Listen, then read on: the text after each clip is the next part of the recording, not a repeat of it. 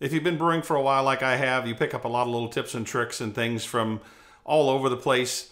In this video, I want to share with you six simple things that I have added over my years of brewing that help me make my process really simple and easier, and they don't cost a lot of money.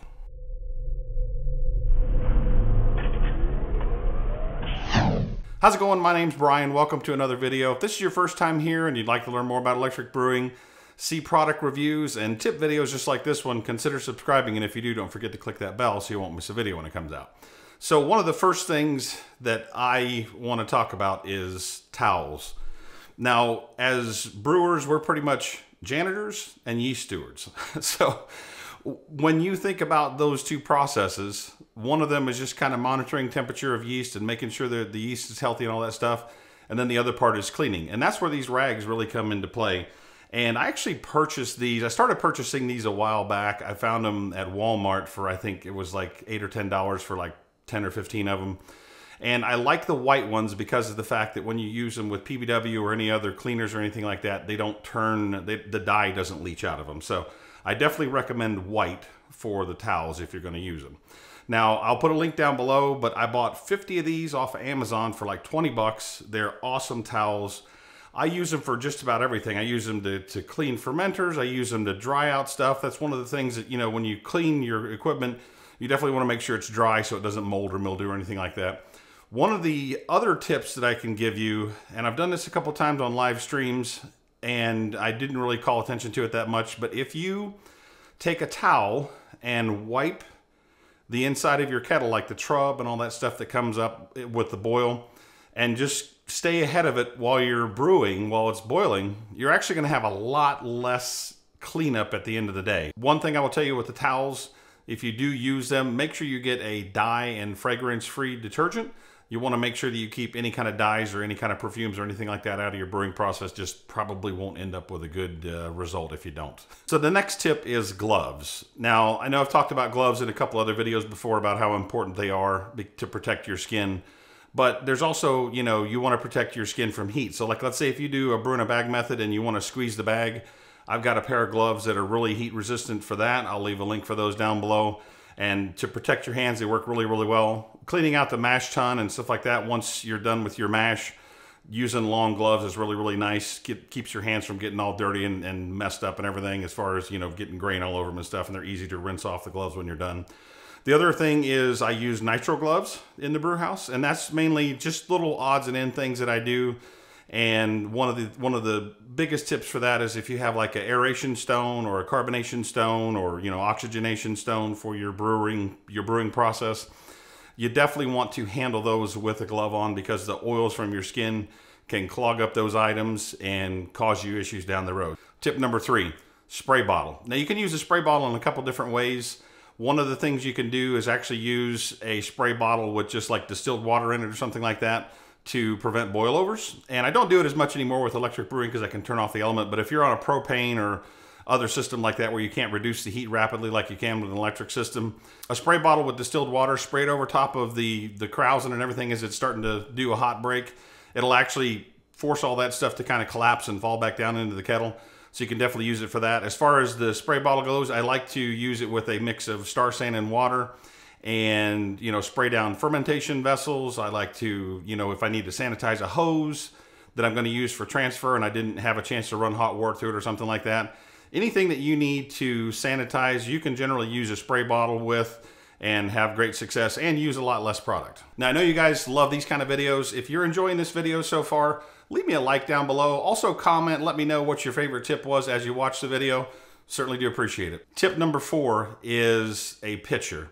And this is one of those things, you know, I bought the pitcher that I have. I bought it probably, I'm going to say at least like eight or nine years ago, whenever I started doing all grain brewing. And I have actually had that pitcher ever since then. It's a Rubbermaid. I looked up plastic pitchers on Amazon and lo and behold, the version that I have is still for sale. I'll put a link down below. It's only like 10 or 12 bucks on Amazon. You might find it in the store for a little cheaper, but I use it for everything. Catching liquid as it's coming out of, you know, when you disconnect hoses, when you're doing recirculation like a Vorlauf or if you're doing sparging or anything like that. One of the things I will tell you with a gallon pitcher, it's a good idea to calibrate it so you know exactly, like let's say if you want to measure volumes in a new fermenter, or if you want to do sparging and you want to have an exact amount. A lot of times when I do sparging, I'll heat up like if I'm going to do a two gallon sparge, I'll heat up two and a half gallons of water so they don't have to worry about like tipping or pouring out the heating vessel for the sparge water. And I'll fill it up to the level that I know is a gallon based on calibrating it. And water is 8.34 pounds per gallon at room temperature.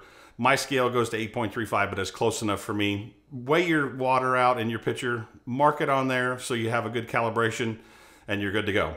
Now, a money saving tip as far as making Star San solution, it only takes six milliliters of Star San to make a gallon of Star San solution. So I generally don't ever make more than a gallon of Star San. I'll, I'll fill up the pitcher, use a spray bottle like I talked about just a second ago, fill up the spray bottle, and then, like I said, you know, sanitize everything. You can drop your any of your valves or anything like that in the pitcher while you're doing your brew day and then by the end of it you're ready to go. And basically you're having really no waste at all.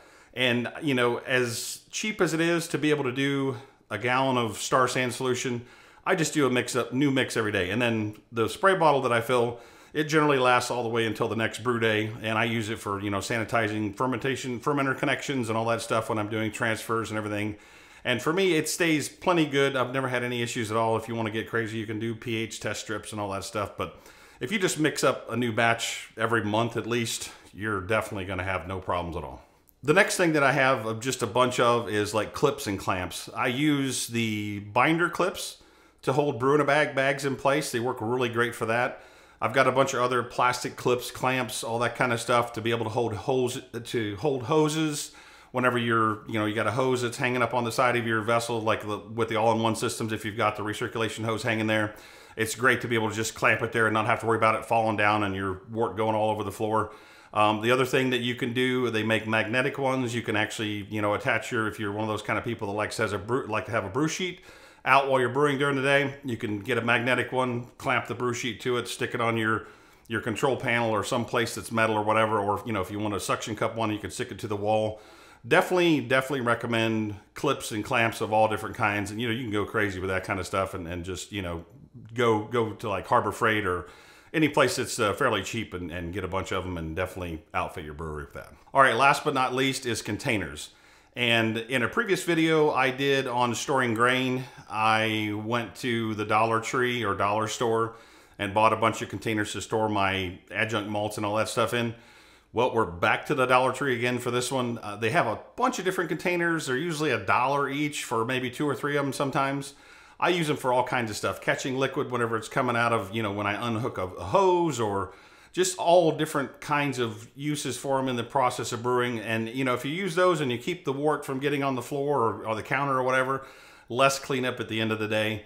And I use them to cool down wort samples. Uh, they make glass. I found like four, I think a four pack of glass dishes, like little uh, mise en place or prep dishes for cooking and they work perfectly. I mean, I use them to weigh out all of my brewing salts. With brewing salts, you know, how many times have you raised your hand if you've uh, ever, you know, dumped in some gypsum and then go to dump in some calcium chloride in the same container and you go way over the mark and then you got to try to figure out how to get it all out of there. Just go get these. They're a dollar for four of them put all of your brewing salts in separate vessels. You can even put your lactic acid in there if you need to, and they're glass. I mean, it's not going to hurt anything to, to dip them in the in the uh, mash water while you're heating it up to to get your salts in the in your brew day. I also use those storage containers for all kinds of stuff. I mean, I'll store you know extra extra you know uh, tri clamp valves, all kinds of stuff. I've got all my airlocks in one. I you know they're a little more expensive. I bought them from IKEA but I have a you know a, a, ton of different containers that I keep everything in. It's nice to keep stuff organized. You can go and look in your brewer house and go, okay, well you know here's my airlocks, here's my stuff for kegging, all that kind of stuff. Organization is really great because then you're not fumbling around looking for something on a brew day or you know when you're kegging or whatever like that. So leave me a comment down below if you have any other tips for things that are just simple that you do that you know you would want to share with the rest of us or something that I missed based on you know what I shared with you guys here.